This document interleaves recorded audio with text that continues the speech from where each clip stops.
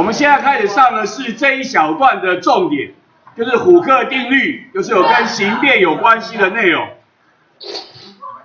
物体受我们前面教过，东西受到外力作用之后有两种效果，一种效果叫形变，形变就是形状的改变，包括伸长、缩短、弯曲、扭转、切变。切变就是你拿一张纸。上跟下一个向左一个向右叫做切变，叫做切变。然后呢，我们国中通常都只讨论伸长的部分，通常都只考虑伸长的部分，啊，其他的几乎都没有在教。然后这就是我们的意思，物体受到外力作用之后会产生形变。然后呢，外力如果拿掉，它会恢复成原来的形状，这个样子，这种性质叫做弹性。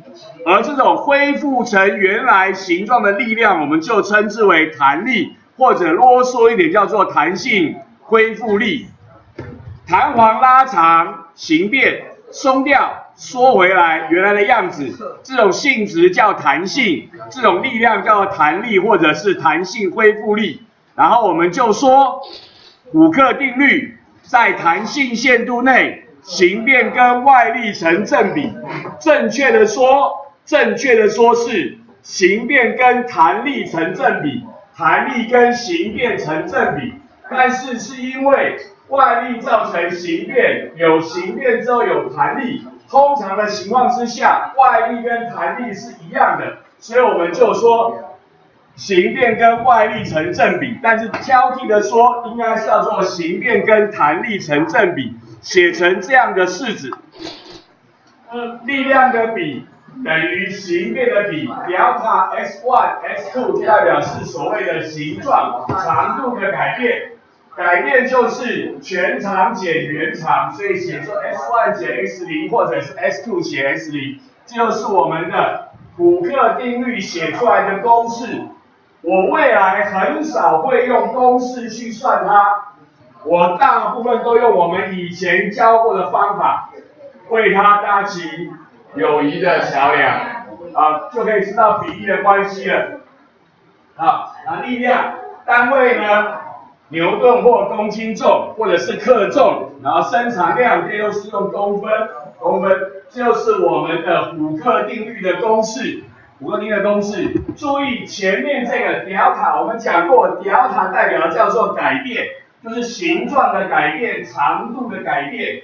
好不我们通常讲伸长量，啊，伸长多少？然后呢，后面就是全部有多长减掉原来有多长，就是所谓的伸长多少。公式就长成这副德性，叫做虎克定律。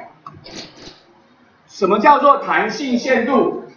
不使弹簧产生永久形变的最大外力，因为弹簧用手一拉松掉，缩回去，再用力一拉松手又缩回去，再用力一拉松手缩不回去了，这叫做超过弹性限度，所以不会使它产生永久形变，它都能够还回得去的最大力量叫做。弹性限度，然后还有一个名词叫做弹性皮马类。弹簧挂着两公斤重，伸长，拿下来，缩回去，再挂上去，拿下来，又缩回去，很好，挂上去，放了一年，拿下来，不回去了。弹性皮马，他已经习惯这么长了，他不想，他懒了，他累，不要再缩回去了。要弹性皮吧，要弹性皮吧。OK，但是我们国中很少讨论弹性皮拔这件事。那么要请同学注意的事情是：第一，要在弹性限度内才会成正比。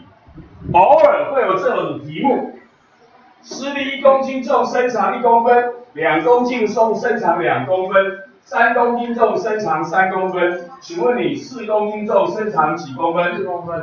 错，答案要不知道，因为它可能坏掉。它可能坏掉。通常题目不会这样，我们国中生的题目绝大部分几乎所有都会说在弹性限度内，但是偶尔会有人欺骗你，所以不是一一二二三三四六四，没有，因为它可能已经坏掉，它可能已经坏掉了啊。挂错东西啊。重点，外力是跟形变成正比，我们是生产量成正比，不是跟全长成正比。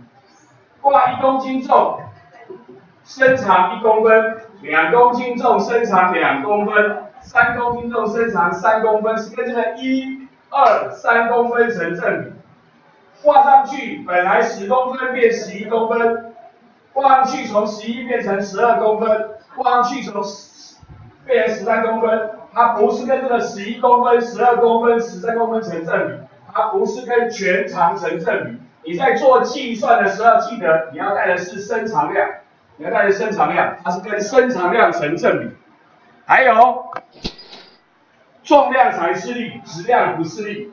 重量才是力，所以重量才会成正比。地球上有一个六公斤的东西挂上去，伸长了一公分，拿到月球上去挂上去呢，第一个质量没有变，地球上质量六公斤，到月球质量还是六公斤，可是地球上质量六公斤是六公斤重，到月球只有多少？